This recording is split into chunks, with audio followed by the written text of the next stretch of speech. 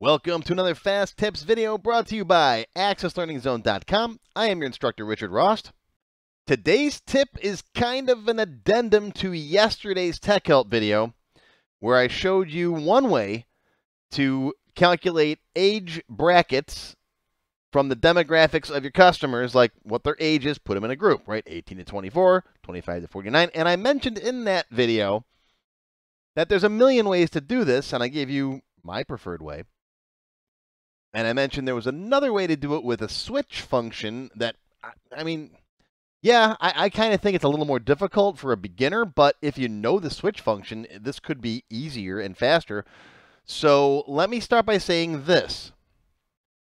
First, if you want to know what I am talking about, go watch the age demographics video that I released yesterday, and that'll give you all the basics. And second, if you want to learn about the switch function, go watch this video. I got a video for everything. It's basically, the switch function is basically gets rid of nested if functions, IIF functions, right? So you can, if you have multiple options, instead of having if this, then if that, then if that, instead of having a bunch of those, you can use the switch function. So go watch this if you want to learn what the switch function is. Okay, so now that you're on board and you know what all of that stuff is, now let me show you how to use the switch function to do what I did in the last video a different way. Okay, so here's the video from yesterday. I did some cool, funky stuff with uh, with pie charts for the, the members. We went through uh, you know modern charts and the classic charts and a whole bunch of different weird stuff. But what we did is we built this customer queue where we figured out the age and then we set up different brackets like this for the groups and then a decade. And this is fine. This is the way I've done it for years and years and years. There's a different way. There's a million ways to do everything in Access. I can think of at least four ways to do most things. So let's copy this guy. All right, Control C, Control V. Make a copy of it. We'll call it customer 2Q or whatever. We'll just do it a different way. Ready? Design view. All right. We need the age, but we can get rid of these brackets here. Okay, we're going to replace this with a switch function. I'm going to zoom in so you can see it. Shift F2. And this is what it looks like. I'll call it age group. Okay, and we're going to put the switch function in here. And then we've got a condition and then a value if it's true, and then another condition and then another value if it's true. And the switch function drops out as soon as it finds one. Okay, so as the first one that works is what you get. So we'll start off with, we'll start from the bottom. Age is less than 18 comma, and then you put in here what you want its group name to be. Now, I'm going to start it off with a 1 because when it comes to the aggregate query later, we're going to sort these. And if you don't if you don't put a number or something at the front, it's going to sort in whatever alphanumeric order you get. So I like to do it this way. So 1 and then under 18, okay? Then comma, then your second group, just like I did in the switch function video. All right, so next we'll say if age is less than 25. Now remember, anybody under 18 is already dropped out. The switch function exits. Okay, so now we're going to get people that are 19 through 24, right? Less than 25, comma, and then in quotes, what you want it to say, 2, and then it's going to say, in here we're going to want to say 18, because remember, the other group is under 18, right? So it doesn't include 18. So this one is 18 to 24, okay? If you want, if you don't want to get confused, you could put less than or equals to in here. Less than or equal to 17, whatever. However you want to do it. Okay, comma. What's the next group? Let's go age uh, less than 50, comma. So this one will then be uh, 25 to 49.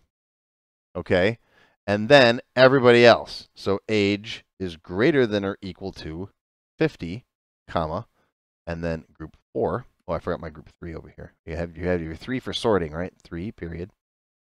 Right, and then this would be group four, and then we'll say 50 and up. Close your quotes, close your parentheses. I don't know. I just think this is more complicated than what I did before, but uh, it's a matter of opinion. Okay, hit OK, especially for a beginner. Beginners look at the switch function and they go, huh?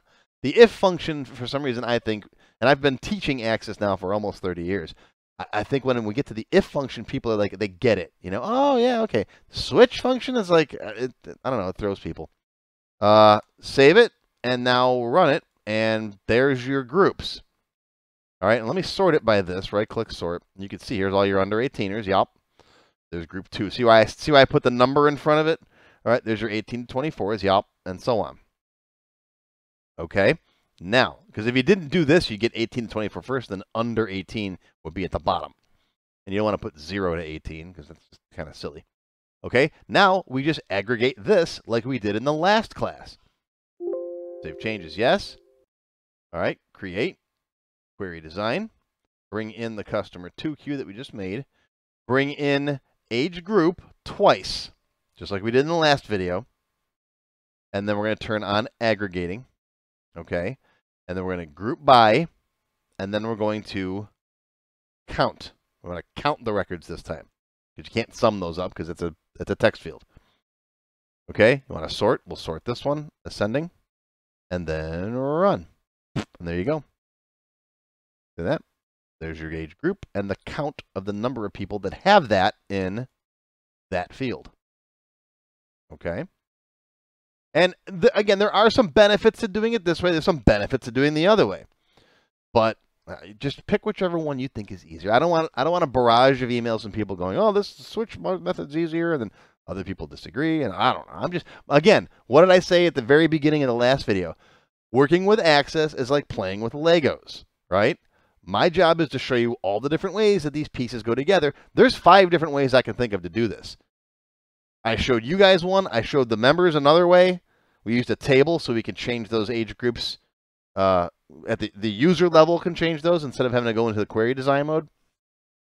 Because you never want your end users playing with your queries. Right? You lock that stuff down. I got other videos on that. But this is another method you could do it if you want to get in there and build a query to do it. So I, there's lot, lots of different ways to put these Legos together, folks. So there you go. There's your fast tip for today. I hope you learned something. I'll see you next time. If you enjoyed this video, please give me a thumbs up and post any comments you may have. I do try to read and answer all of them as soon as I can.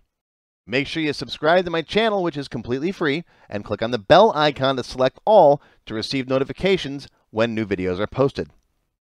Make sure you click the Show More link down below the video to find additional resources and links. You'll see a list of other videos, additional information related to the current topic, free lessons, and lots more. YouTube no longer sends out email notifications when new videos are posted, so if you'd like to get an email every time I post a video, click on the link to join my mailing list. Even if you don't want to become a member, feel free to donate to my tip jar. Your patronage is greatly appreciated and will help keep these free videos coming. I got puppies to feed. How do you become a member? Click on the join button below the video.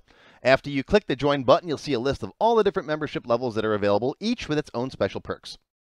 Silver members and up will get access to all of my extended cut tech help videos, one free beginner class each month, and more. Gold members get access to download all of the sample databases that I build in my tech help videos, plus my code vault where I keep tons of different functions that I use. You'll also get a higher priority if you decide to submit any tech help questions to me, and you'll get one free expert class each month after you've finished the beginner series.